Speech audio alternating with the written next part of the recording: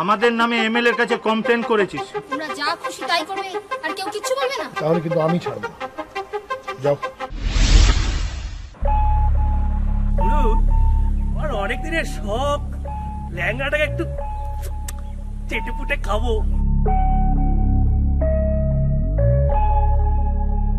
দেখ মানুষের জীবনে তো কত কিছু হয়। তাই বলে কি মানুষ থেমে যায়? থেমে থাকা উচিত। তো আমার দরবারের কাছে পিস্তালও আছে।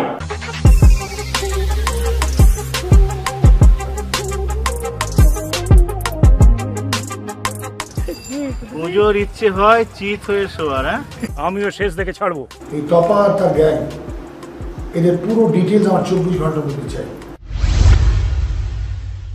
মেয়েকে একটু উঠতে বারণ করবে না? আমি বোধহয় আর পারব না। সবাই যদি বোন হবে তা আমার এই মালটাকে কি কাঁধে নিয়ে ঘুরবো নাকি? পুরো কিন্তু ছিঁড়ে ছিঁড়ে খায় হ্যাঁ? কিন্তু আজ মনে হচ্ছে আমি পারব রে। আমি পারব।